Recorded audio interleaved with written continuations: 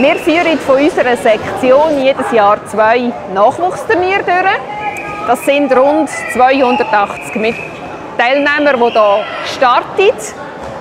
Und das sind von Kinderkategorien bis zu Erwachsenenkategorien. Aber ohne Schwarzgurt. Also wir haben hier Mädchen und Buben, die starten, wie auch Jugendliche, Männer und Frauen. Und in der Kategorie Kata, das heisst, wo man allein etwas vorführen und im Komitee, wo man das Zweite gegeneinander kämpfen.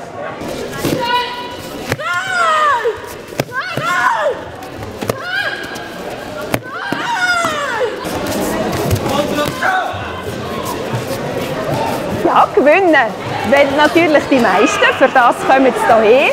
Es geht aber sehr fair zu und her. Man muss Techniken können kontrollieren und es geht auch so, als so einem Turnier sehr wenige Verletzungen.